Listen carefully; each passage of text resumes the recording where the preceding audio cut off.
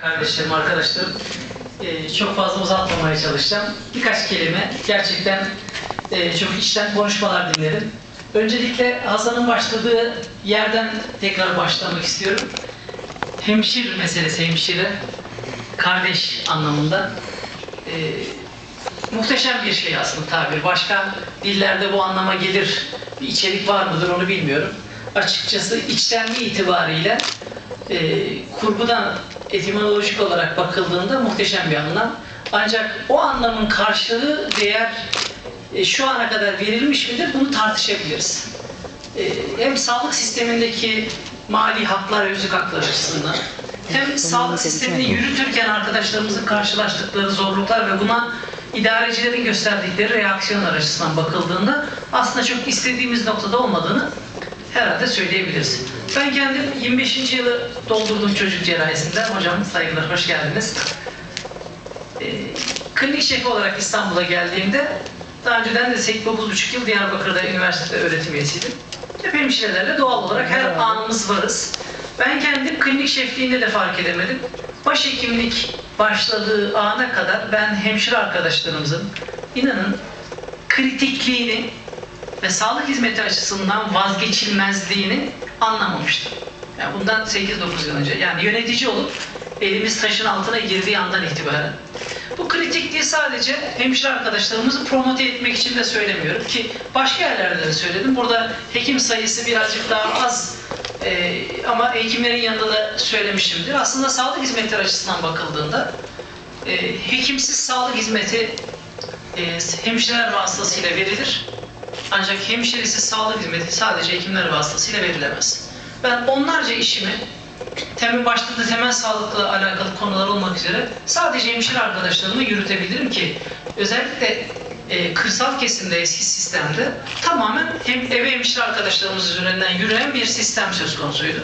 Günümüzde aslında hekim sayısı çok fazla artmadığı halde rakamsal anlamda e, ağırlıklı olarak hekim bazlı hekime yardımcı eleman gibi tariflenmeye başlandı. Hemşirelerin o anlamda gerek uzmanlık alanı oluşturulması gerekse uzmanlık alanına bağlı olarak da yetki ve sorumluluklar dahilinde hizmet edebilme bağımsızlığı açıkçası birazcık azaltılmış durumda. Buna sistematik olarak bakıldığında doğru bulmuyorum ki sistemden ebeler tamamen çekildi. Bilmiyorum burada ebe arkadaşımız var mı? Bunu çok daha da sakıncalı buluyorum başta sezeryen oranlarının yükselmesiyle alakalı süreçte bu kararların da etkili olduğunu açıkçası düşünüyorum. Değerli arkadaşlarım, hemşire arkadaşlarımız takımın gerçekten bir parçası ve aslında e, ana ayaklarından bir tanesi. Yani hekim gibi, daha farklı değil. Şimdi hastaneler ki üniversitemiz gibi, hastanemiz gibi büyük e, multidisipliner yapılarda dikkate alındığında aslında 40'ın üzerinde artık sağlık e, şeyi var, e, altyapısı var, sağlık bilim e, hizmet alanları var. 40'a yaklaştık. Kabaca farklı farklı alanlarda hem hemşire arkadaşımız da onlardan bir tanesi, hekim de ondan, tıbbi bil- bilgi işlem sorumlusu onlardan birisi, tıbbi sekreter de o da, e, morg görevlisi de o da. Hepsi beraber çünkü bu sistemin mükemmel yürümesinde herkesin çok adapte ve başkasıyla, yekliğiyle çok uyum içerisinde olması gerekiyor. Bunlardan e, biraz evvel ifade ettiğim gibi hemşire arkadaşımız olmazsa olmazı. Bunu hep beraber biliyoruz. Bu sistemin yürütülmesinde bu kadar kritik olduğu halde yeterince o anlamda özlük hakkından bakımından destekleniyor mu? Ben Hasan Bey'in söylemiş olduğu şeyi birebir de söylerim, desteklerim. Çok doğru değil. Ancak görece çok kötü olmadığımızı da ifa, açık yüreklilikle ifade etmemiz lazım. Benzeri eğitim sisteminden geçmiş arkadaşlarımızın yani 4 yıllık veya 2 yıllık okuldan mezun olan arkadaşlarımızın ülkemizin başka birimlerinde aldıkları özlük haklarıyla karşılaştırıldığında hemşire ve diğer sağlık personeli arkadaşımızın görece bir miktar daha iyi olduğunu farkındayız. Hekimler aynı miktarla karşılaştırıldığında görece daha da fazla. Buradaki önem aslında sağlık hizmetlerinin kritikliğinden, risk faktörlerinin fazlalığından ve aslında yoğun çalışma e, temposundan kaynaklanıyor. Hem hekim arkadaşlarımız olarak hem diğer çalışan arkadaşlarımız olarak aslında standart mesai zamanı içerisinde çalışan arkadaşlarımız hani bunun bir ölçme metodunun profesyonelce varlığını bilemiyorum ama başka e, çalışma alanlarına, disiplinlerle karşılaştırıldığında kanaatim odur ki iki veya üç kat kadar daha fazla bilim zamanda iş yapma gibi bir yükümlülükle karşı karşıyalar. Ve bunu her bir seferinde tekrarlayan bir şekilde mükemmel yapmak zorundalar. Mükemmellikten saf, saptığında veya herhangi bir konuda bir küçük aksaklık olduğunda bireysel hakların da ön planda olduğu bu modern toplum algısı içerisinde insanların işte hasta hakları birimine veya bir başka e, kuruma ben yeterince yararlanamadım, ben ayrıldım, ben yeterince ilgi görmedim, şu şu şu şu. Aslında ondan önceki 99 tane vakanın mükemmel olmasının bir anlamda önemi kalkıyor. Özellikle biz yöneticilere bu geldiğinde siz niye bunu ihmal ettiniz gibi bazen sizleri de zedelediğini, zedelediğini bildiğimiz sorgulama, savunma değil, bilgi alma gibi taleplerin dahi sizi taciz ettiğini, üzdüğünün de açıkçası farkındayım. Ancak modern toplumun özellikle sivil haklar dikkate alındığında o hakların sorgulanmasının da başka bir yolun olmadığını hep beraber bilmek durumundayız. Biz sağlık teşkilatı olarak aslında ülkemizin başka kurumlarına göre bu yapının, yapının adapte edilmesinde çok mesafe almış durumdayız. Ülkemizin başka disiplinleri, bilim dalları, e, sağlık teşkilatı dışındaki kalanların inanın sivil halkta bu kadar iç içe olup da bu kadar sivil halkın işin içerisinde entegre olduğu, sorguladığı ve karşılığında cevap aldığı bir yapılanma henüz kurgulanmış değil. Milli eğitim için bakın öyle değildir.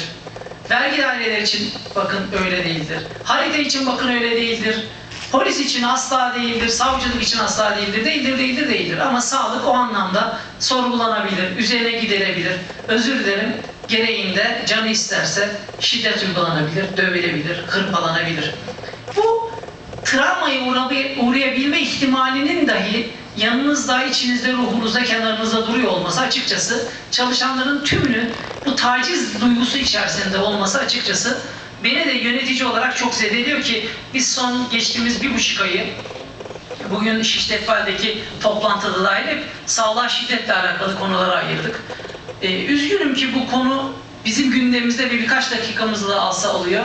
Bu anlamda açıkçası açılı hüzün içerisindeyim. Bunun sağlık teşkilatı ve kurumlarında karşılanmaması için elimizden geleni de yapıyoruz. Ancak dünyada da e, buna ait e, veriler dikkate alındığında başka iş dallarına göre 16 kat daha fazla e, şiddetin e, sağlık kurumlarında olduğu ülkemiz için söylemiyorum uluslararası veri söz konusu. Yani şu, ben şuradan bunu anlıyorum. İnsanların stres karşısında gerginlikleri çok daha artıyor ve iki stresli grup hasta ve yakınlarıyla e, çalışanlar arasından e, bir sürtüşme ortamı ortaya çıktığında bu zaman zaman yüksek sese bazen birbirine karşı fizik temasa kadar da ulaşabiliyor.